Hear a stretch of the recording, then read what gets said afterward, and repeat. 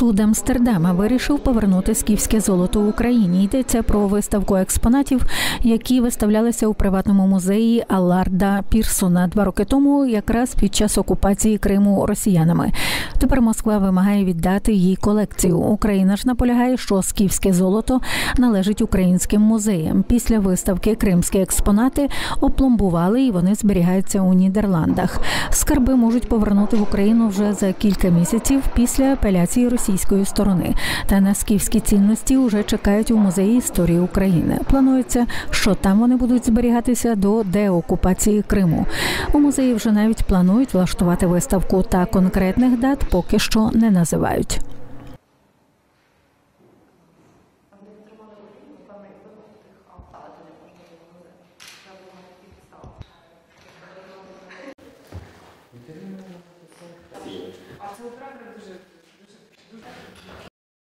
У колекцію входить 565 одиниць зберігання. Це і посуд, і різноманітні прикраси, побутові речі. Звісно, що в нас е, постійно є охорона, є умови для зберігання предметів, тому з цим проблем не буде.